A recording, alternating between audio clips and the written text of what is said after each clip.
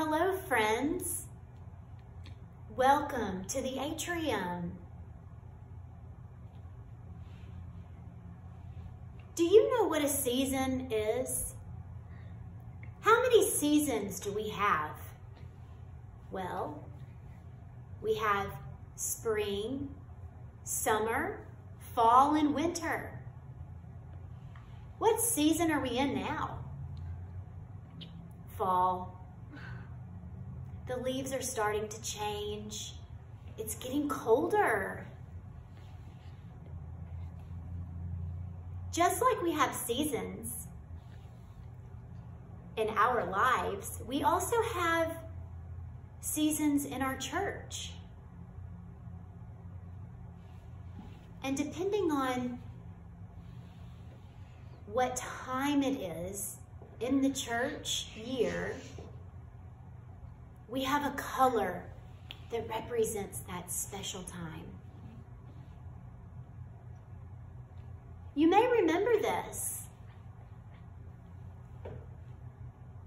I have something very special with me today in this basket.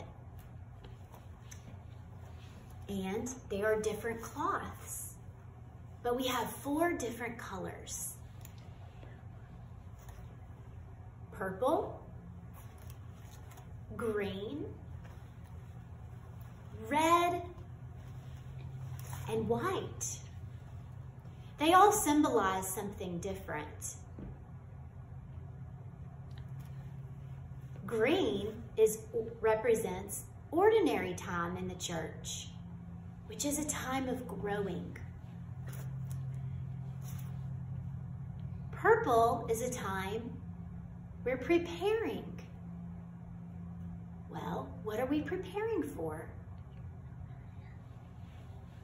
We have two special celebrations in the church year, and when we celebrate, we use the color white. What are those celebrations? Christmas and Easter. And we have a time of preparation before both of those special celebrations. Then we have red.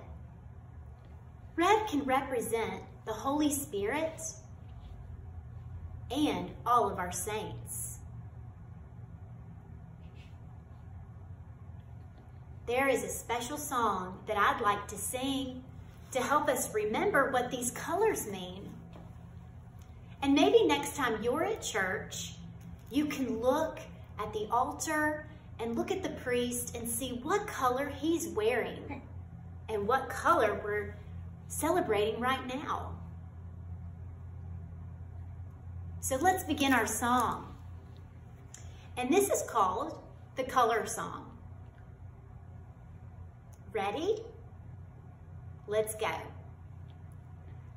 Purple and green, red and white, are the colors of the year. Purple and green, red and white, remind us of the light.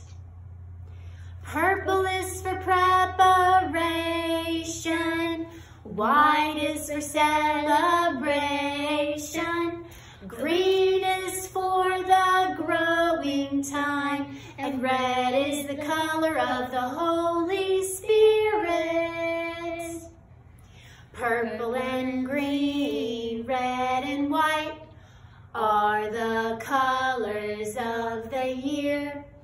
Purple and green, red and white remind us of the light.